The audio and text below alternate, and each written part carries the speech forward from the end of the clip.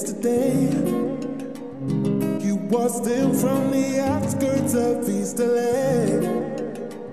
Seems to be the name on everybody's lips. So I told myself I wouldn't fall for it.